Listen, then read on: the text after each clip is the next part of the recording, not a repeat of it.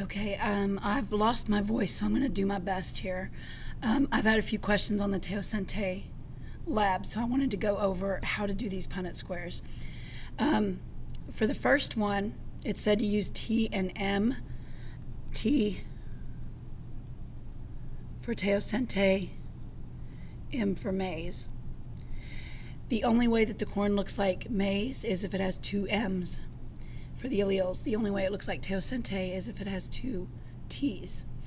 Um, if it is a mix or heterozygous, then it looks like some kind of a hybrid. Um, so what we're going to do in this Punnett square, it tells you on the page before that you're going to be crossing two hybrids. Because this is called the F1 generation. It came from where we took teosinte and crossed it with maize. Pure teosinte crossed with pure maize gave us this hybrid. When we cross the hybrid with itself, that's called the F1 generation. We get the F2 generation. The F2 generation is what we're going to see here in our Punnett square. So if this is our cross, here's what our Punnett square looks like.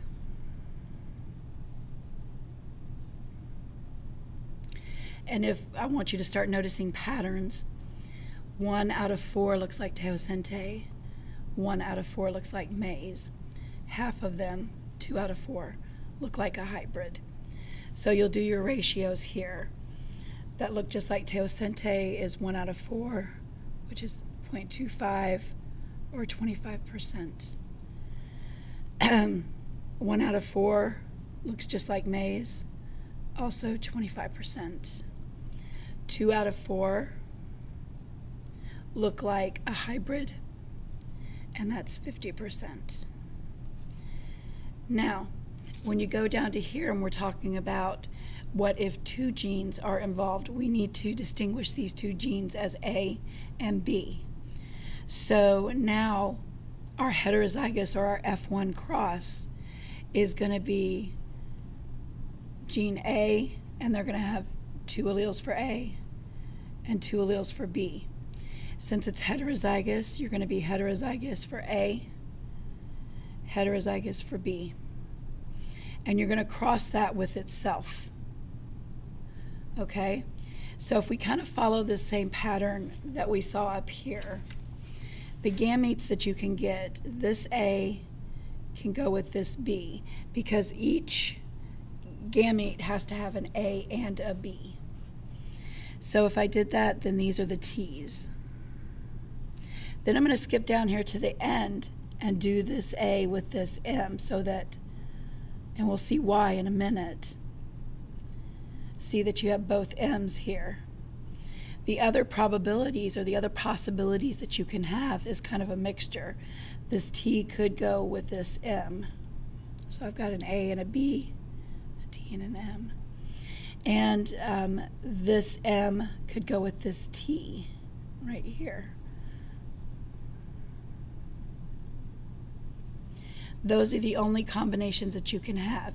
You've got to remember if you've got two traits, two genes, both genes have to be in the gametes. And then we're going to cross that with itself, so we're going to do all of these gametes down the side. So we've got an A and a B allele for each gamete possibility. We're going to do both the T's here, both the M's here, if we keep consistent, this will help us in the next Punnett square. And then we've got a T and an M here, an M and a T here. When you fill out this Punnett square, just do the T's and M's because we know that the only way a plant looks like teosinte is to have all teosinte alleles. The only way it looks like maize is to have all maize alleles. So watch how I fill this in. I'm going to take this one here, two T's, two T's.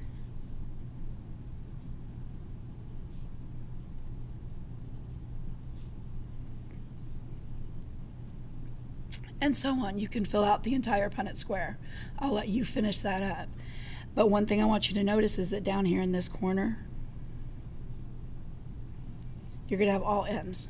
So just like this first Punnett square, in this corner we had all T's, and in this corner we had all M's. Same thing here. We've got all T's here, and all M's. So what that means is that one out of 16 times you're going to get teosinte. One out of 16 times you're going to get maize. The other 14 times you're going to get the hybrid. Now, when the scientist Beadle did his experiment with real corn and he grew 50,000 um, corn plants, he found that one in 500 um, looked like teosinte, one in 500 looked like maize. So we haven't quite gotten to that 500 yet. If it had been one gene controlling all the changes between teosinte and corn, then we would have seen one out of four look like teosinte. If it had been two genes, A and B, we would have seen one out of 16 plants look just like teosinte. So on this side, you're going to fill in your ratios just like you did before. Um, the ratio that you would expect to look like teosinte is 1 out of 16, and then figure out the percentage. Answer those questions on your own. All right, now we're going to say what would happen if we had three genes, A, B, and C. All right, so the way that you're going to make your, uh, your gametes that go here and here Remember that if you've got three genes, all three are going to have to be in the gametes. Okay? We're not going to fill out this whole Punnett square because we should have seen a pattern. We're just going to fill out the corners. All right, so uh, if you remember, we were crossing um, two hybrids. So the hybrid parent would have looked like this two A's, two B's, two C's, and they would have had a T and an M on each of those. And then that parent's going to be crossed with itself. This parent's going to go here, this parent's going to go here. Not with itself literally, with an with an exact same plant that has that genotype. All right, so if I put the A and the B and the C all with the T's right here and the M's right here. Everything in between is going to be a mixture. So you might have the A and the B with the T and the C with an M. Uh, you'll have eight different possibilities there. Then down this side, I'm going to do the same thing.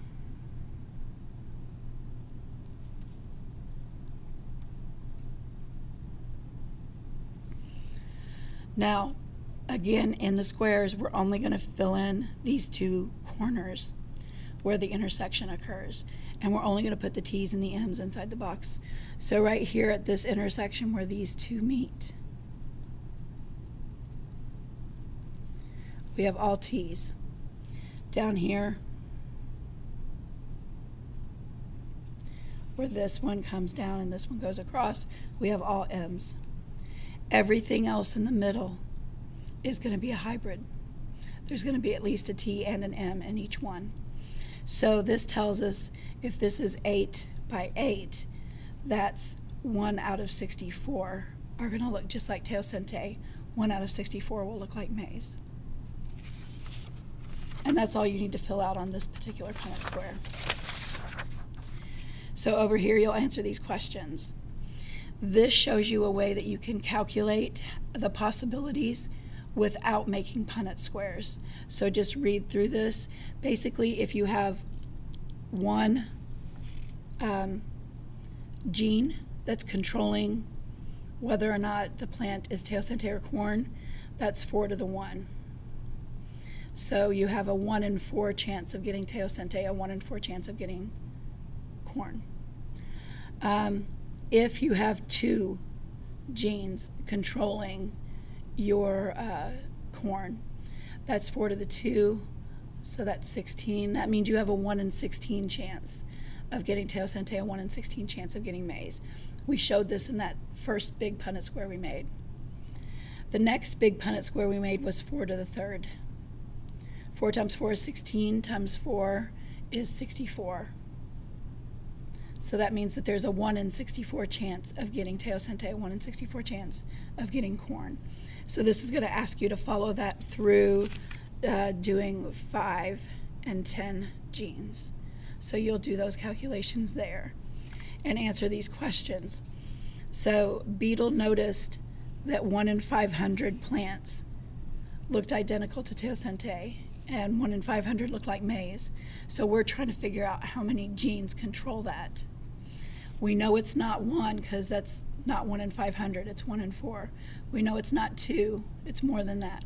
We know it's not three, even. We know it's more than three because this says one in 64. I hope that helps.